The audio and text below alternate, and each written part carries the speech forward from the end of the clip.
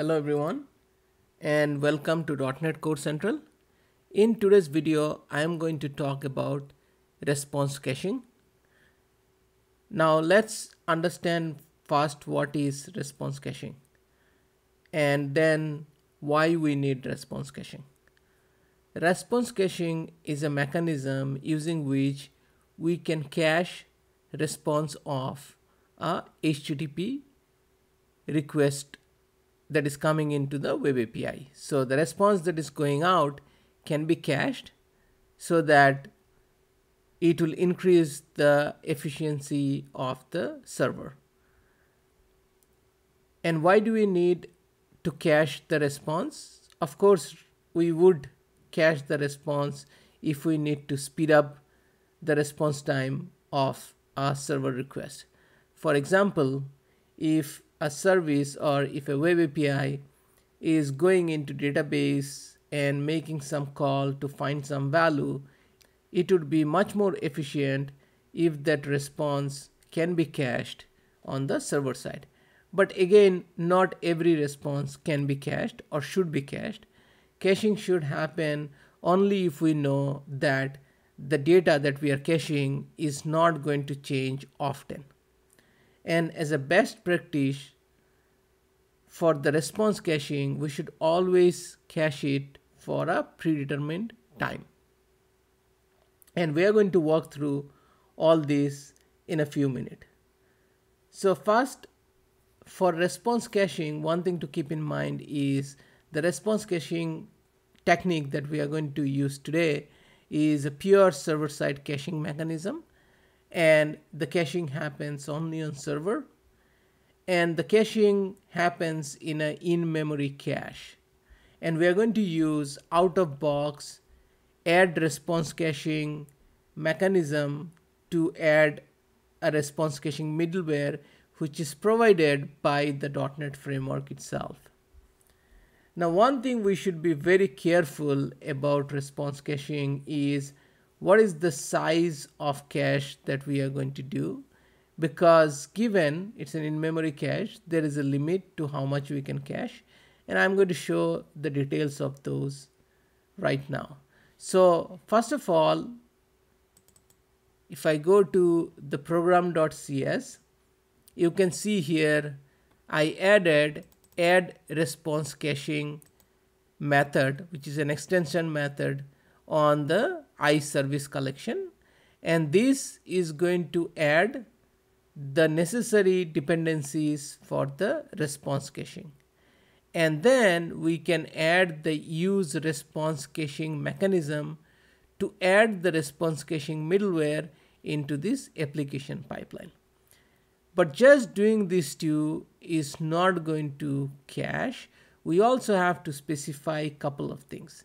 So for that, we can use the use method to add the middleware. And here we can say for the cache control, we can define a new cache control. And then we have to set the public to true. This is important for making sure that the caching work. And then we can specify a max age of the cache. So in our case, what I have done is I have set the cache age as 10 second, meaning for 10 second, the cache is going to be active or the item that we have cached for the response will be served from the cache instead of going back into the HTTP web method. And I'm going to show an example how it works. Now, in terms of the add response caching method, there is an overload and that overload gives an action. And that action if you see it has couple of interesting properties. Now the first property is use case sensitive paths. This basically says that if we set this as true the path will be case sensitive meaning let's say if our API is slash values. Now if I use slash v uppercase for values versus slash v lowercase for values it is going to create two different cache and cache them separately. Now, I personally do not think it will be useful in most of the scenarios.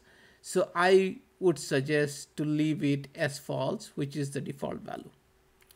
But the other property which provides is actually very interesting and important, which is the max body size. As I mentioned, there is a limit to how much data we can save in memory.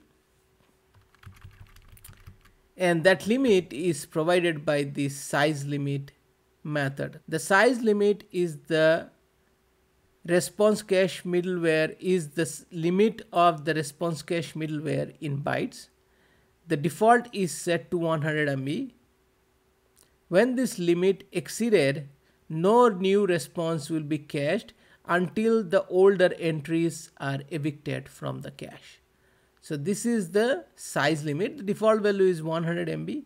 Again, we can change the default value, but as you understand, given that the response is saved in memory, we would have to need more memory for our container to run.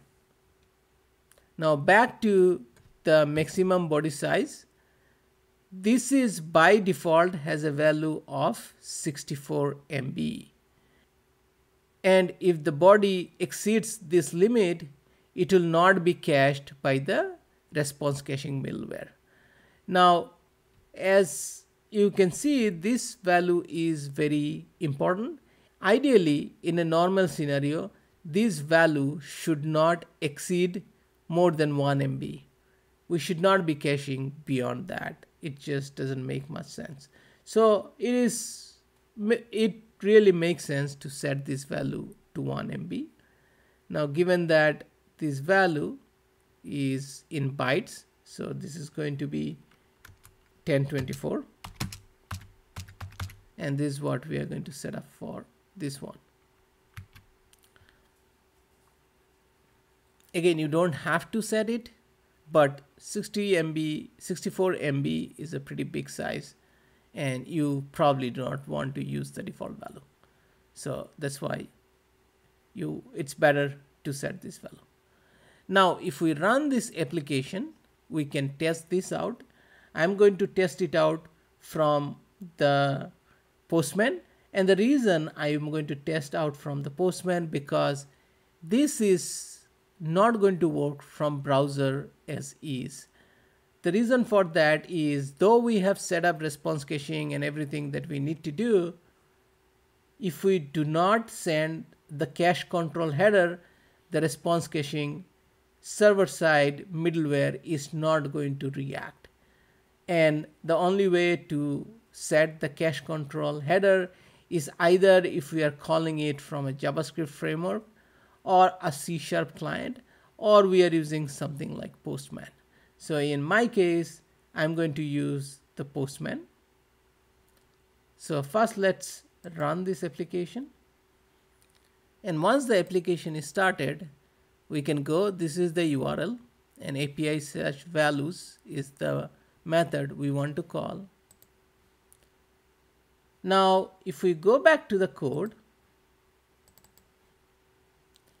and if we go to the controller for the get method here all I'm doing is I'm returning the datetime.now.second so whatever second it was called, that is all I'm returning from here. So now if we go back to the postman and try to execute this function, we can see based on cache control, it will either return a cached value or it will not return a cached value. So now here in the postman, if you can see, we are calling this API and for the cache control, I have set it as public. As I mentioned earlier, the cache control, here it can be public or it can be just a dash. It will still work, but I just kept it as public. Now, if I send this request, it is showing the time as 45. If I call it again, it is still 45. And for next 10 seconds it is going to 45 and then it changed it went to 40 56 that's 11 second because I might have clicked after a second here. So now if I do it it's back to 11 now let's call few times and you can see that the response is cached and cached response is coming back. And at some point in time it's going to change to 21 or 22 now if I get rid of this cache control and run it now every time I run I'm going to get a new value though my server is configured for response caching but because I'm not passing the cache control header it is not going to respect the server caching and it, and it is always going to execute the code and return new value but if I enable the cache again you can see it is caching back the response for 10 seconds.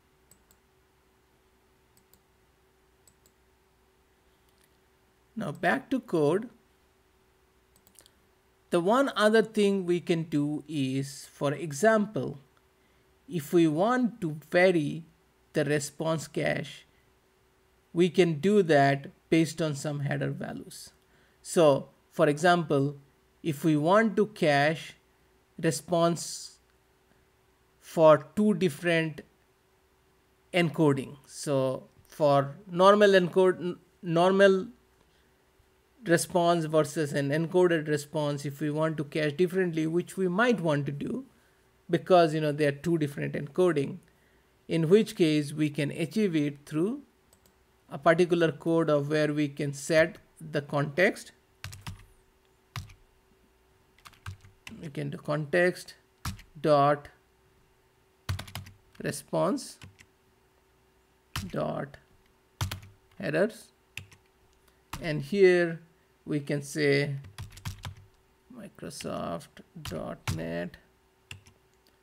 dot http dot headers dot vary dot vary and what we can do is here we can set based on what it should vary. And this is going to be a new string array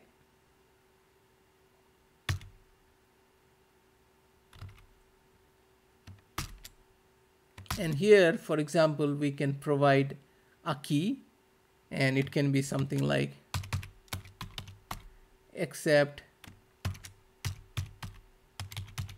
except encoding or accept language or anything like that. Now for this one, header dot I missed dot header names dot vary and this is where we can set it or if we want we can set multiple strings for example accept encoding or we can say accept language and so on and so forth. Now one thing to keep in mind about the response caching is that there are few situations in which it will work, not every situation. For example, the request that is coming from the client, the server response should be 200. It is not going to cache response for any other HTTP status code. So that's one very important thing to keep in mind. Second important thing is only the HTTP method get or head will be cached. The other HTTP methods will not be cached. The other important thing to keep in mind is the authorization header should not be present. If the authorization header is present, again, response caching is not going to work. Apart from that, another important thing to keep in mind is that if you are using CORS, then the use CORS must be called before use response caching. So it should be called somewhere here if we are using CORS. It should be before the use response caching. So this is another thing to keep in mind. And in my opinion, the response caching can be really, really useful if we want to amplify the performance of a server response, especially server method which goes to databases which do not change frequently. And if you are having a lot of call, even if you add the response caching for 10 to 30 seconds, it can be a huge difference in terms of minimizing the number of database call for data which do not change significantly. So this is a feature, it's worth implementing. Instead of going and doing caching yourself, we can use the out-of-box middleware to do the response caching. So that is all I wanted to cover for today's video. If you like this video, please give me a thumbs up. And if you are new to my channel, if you think you are getting value out of my channel, please subscribe to my channel. And thanks so much for watching this video.